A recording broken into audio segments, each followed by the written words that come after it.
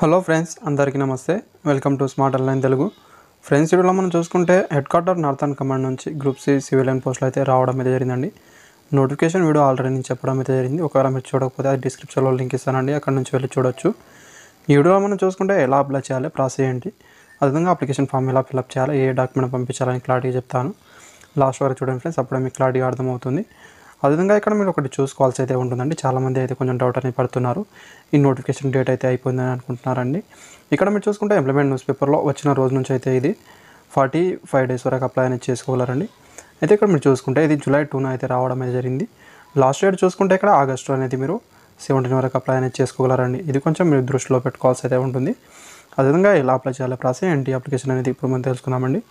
ఆ తర్వాత నెక్స్ట్ వీడియోలో వెళ్ళే ముందు వీడియో నచ్చితే ఎలా చేయండి ఫ్రెండ్స్. అదేవిధంగా సబ్స్క్రైబ్ మాత్రం చేసుకోవడం మర్చిపోండి ఫ్రెండ్స్. సో ఫ్రెండ్స్ ఇక్కడ అప్లికేషన్ ఫామ్ అయితే మీరు చూసుకోవచ్చు అండి application for the post of అనేది మీరు దేనికి అప్లై చేస్తున్నారు. ఇక్కడైతే ఫిల్అప్ అనేది చేయాల్సి అయితే ఉంటుంది. ఆ తర్వాత నెక్స్ట్ మనం చూసుకుంటే రిఫరెన్స్ ఎంప్లాయ్మెంట్ న్యూస్ పేపర్ అనేది ఇక్కడ ఎంప్లాయ్మెంట్ న్యూస్ పేపర్ అని ఇక్కడ ఫిల్అప్ అనేది చేయాల్సి అయితే ఉంటుంది.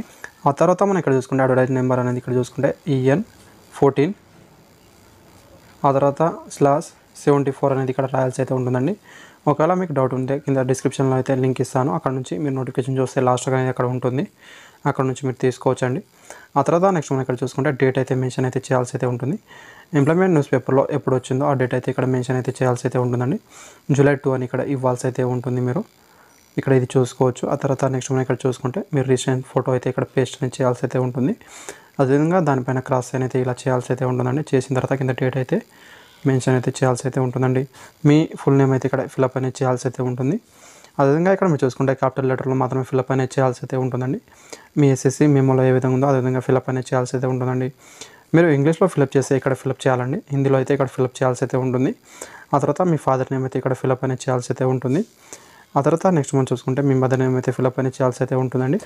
తర్వాత ఇక్కడ మీరు చూసుకుంటే మీ డేట్ ఆఫ్ బర్త్ అయితే ఫిల్అప్ అనేది చేయాల్సి అయితే ఉంటుందండి. అదేవిధంగా లాస్ట్ డేట్ నాటికి మీకు ఎన్ని ఇయర్ అవుతున్నాయి? ఎన్ని మంత్ అవుతున్నాయి ఎన్ని డేస్ అవుతున్నాయి ఇక్కడైతే ఫిల్అప్ అనేది చేయాల్సి అయితే ఉంటుందండి. అదేవిధంగా లాస్ట్ డేట్ అనేది మీరు చూసుకుంటే ఇక్కడ ఆగస్టు సెవెంటీన్ అని ఇక్కడ మీరు చూసుకోవాల్సి అయితే ఉంటుంది. అనేది ఎలా తెలుసుకోవాలి మీకు తెలియకపోతే క్రోమ్లో వెళ్ళిన తర్వాత మీరు డేట్ కలెక్షన్ టైప్ చేస్తే ఫస్ట్ మీకు అయితే వెబ్సైట్ అయితే రావడం అయితే జరుగుతుందండి. దాంట్లో వెళ్ళిన తర్వాత ఫస్ట్ మీ డేట్ ఆఫ్ బర్త్ ఇచ్చిన తర్వాత నెక్స్ట్ మనం చూసుకుంటే లాస్ట్ డేట్ అని ఇవ్వాల్సి అయితే ఉంటుందండి. లాస్ట్ డేట్ చూసుకుంటే two thousand twenty two August seventeen ఇవ్వాల్సి అయితే ఉంటుంది. ఇది ఇస్తే మీకు ఎన్ని ఇయర్ అవుతున్నాయి ఎన్ని మంత్ అవుతున్నాయి ఎన్ని డేస్ అవుతున్నాయి రావడం అయితే జరుగుతుంది. అది ఇక్కడైతే ఫిల్అప్ అనేది చేయాల్సి అయితే ఉంటుందండి. ఆ తర్వాత నెక్స్ట్ మనం చూసుకుంటే ఇక్కడ మీ కేటగిరీ అయితే టిక్ చేయాల్సి అయితే ఉంటుంది. మీరు ఏ కేటగిరీ నుంచి బిలాంగ్ చేస్తే అది ఇక్కడైతే టిక్ చేయాల్సి అయితే ఉంటుంది.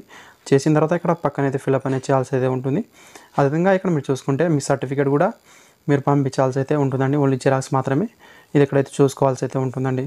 తర్వాత మనం ఇక్కడ చూసుకుంటే నేషనాలిటీ అని ఫిలప్ అనేది చేయాల్సి అయితే ఉంటుందండి. ఇండియన్ అని ఆ తర్వాత రిలీజియన్ అనేది హిందూ ముస్లిం క్రిస్టియన్ మీది ఏదైతే అది ఇక్కడైతే ఫిలప్ అనేది చేయాల్సి అయితే ఉంటుంది. ఆ తర్వాత నెక్స్ట్ మనం చూసుకుంటే మీ కమ్యూనికేషన్ అడ్రస్ అయితే ఫిలప్ అనేది చేయాల్సి అయితే ఉంటుంది.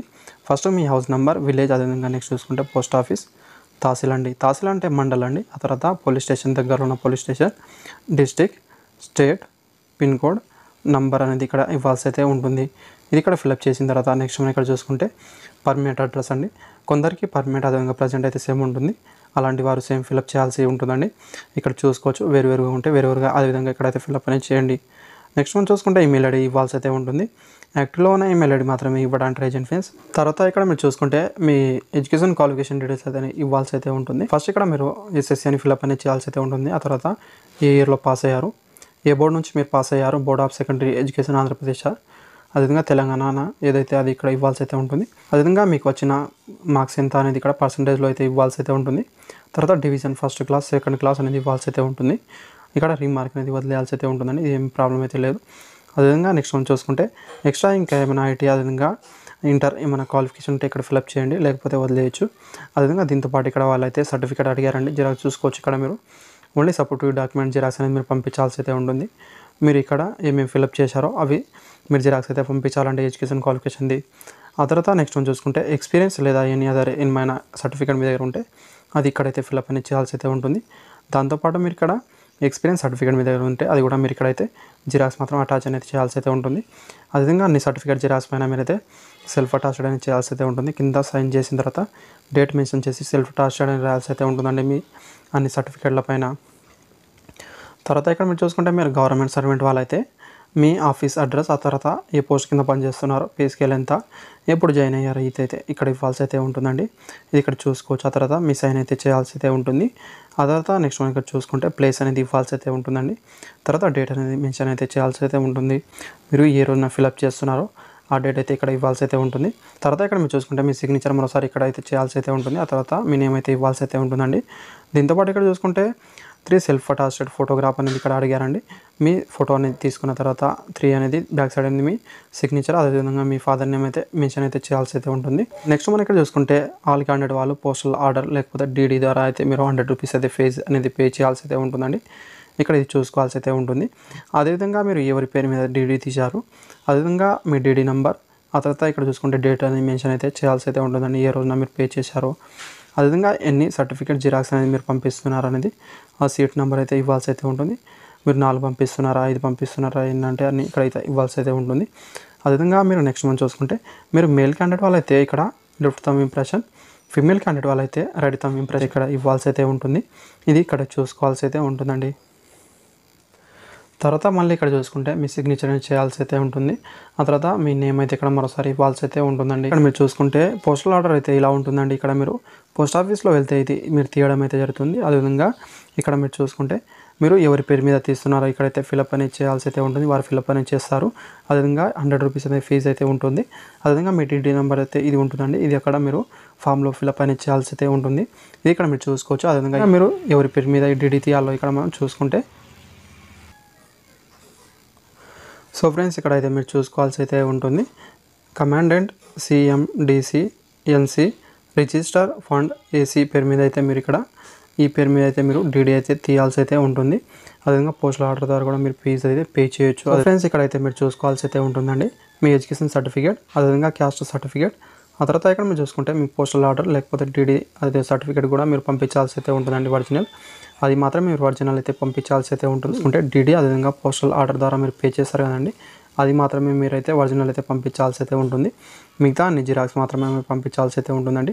అదేవిధంగా మీరు ఎక్సర్వీస్ మ్యాన్ వాళ్ళైతే మీ ఎక్సర్వీస్ మ్యాన్ సర్టిఫికేట్ అదేవిధంగా మీరు గవర్నమెంట్ సర్వెంట్ వాళ్ళైతే మీ ఎన్ఓసి సర్టిఫికేట్ అదేవిధంగా మీ date of birth certificate next చూసుకుంటే డొమికల్ సర్టిఫికేట్ ఆ తర్వాత ఒక ఐడి ప్రూఫ్ అయితే మీరు పంపించాల్సి అయితే ఉంటుంది.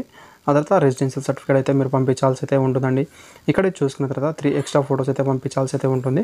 అది ఇక్కడ మీరు చూసుకోవాల్సి అయితే ఉంటుంది. అదేవిధంగా ఒక సెల్ఫ్ అడ్రస్ ఎన్వలాప్ అయితే మీరు పంపించాల్సి అయితే ఉంటుందండి. దానిపైన ట్వంటీ ఫైవ్ రూపీస్ అనేది పోస్టల్ స్టాంప్ అయితే ఉండాల్సి అయితే ఉంటుంది. సో ఫ్రెండ్స్ ఇక్కడైతే మీరు చూసుకోవచ్చు. సింపుల్గా సెల్ఫ్ అడ్రస్ ఎన్వలాప్ అయితే ఇలా ఉంటుందండి.